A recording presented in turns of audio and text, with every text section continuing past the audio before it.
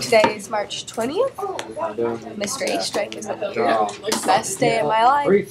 Just kidding, that was me. Worst day of my life, actually. I'm still sick, and it stinks really bad because we had a hard workout yesterday, and it was really hot, and I was sick, and I just felt awful, but I survived. So Yeah. look, right here, I burnt myself with a curling iron, And it hurt. but it's okay. I have a nice scar. Yeah. Um, I don't what else there's talk about. Oh goodness. Nothing really interesting happened yesterday. Where's the- I texted this new person from another school that I don't even know.